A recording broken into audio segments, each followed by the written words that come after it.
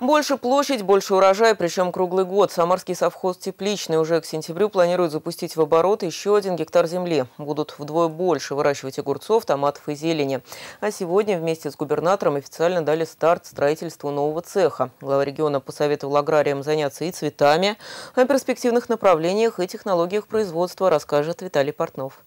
Яркие краски, преимущественно зеленые, температура летняя и много света, как от солнца. Атмосфера приближена к реальности. Каждую теплицу 20 часов в сутки освещает порядка 2000 лампочек. В таких искусственных условиях с применением современных технологий в закрытом грунте выращивают овощи, огурцы, редис, томаты и зелень.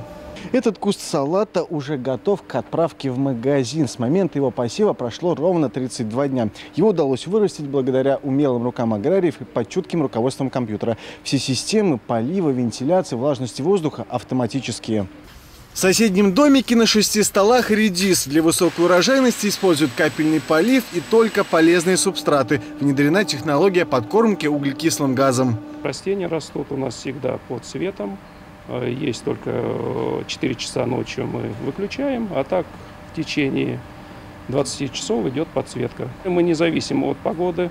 Э, на улице светло или холодно, или разницы нет в этих теплицах. Это современные теплицы, держится температура, влажность, микроклимат. Большие листья и не менее крупные плоды. В соседней теплице выращивают огурцы. Средняя урожайность с одного квадратного метра 42 килограмма. Первый сбор светокультуры прошел буквально на днях. На вкус и качество продукции технология не влияет. Огурцы получаются без нитратов. Здесь рассчитывают уже на более высокую урожайность – на 90-120 килограммов с квадрата. Сейчас уже собрали порядка 30 тонн. Это вот новый сорт, так называемый мелы. Будет он расти у нас где-то до мая.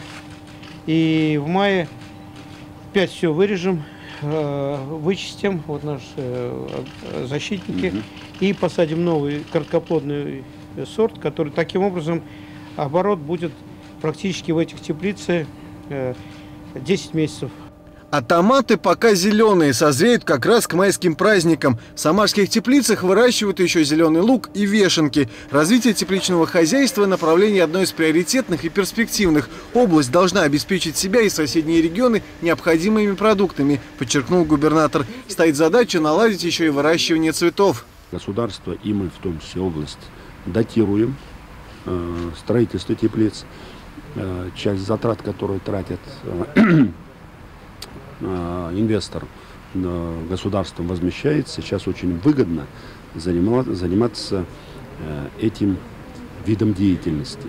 Ну и потом мы договаривались, что будут, перейдут они к цветам, к выращиванию цветов.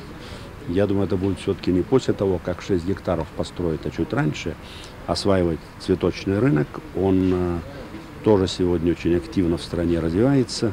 Общая площадь теплиц порядка 15 гектаров. Еще один гектар земли будет освоен к сентябрю. Тогда производство овощей увеличится минимум вдвое. Николай Иванович Меркушкин дал старт строительству нового современного цеха. Первая свая забита. Это будет такая же, такая же теплица, как та, только будут томаты. Посажено 1 июля.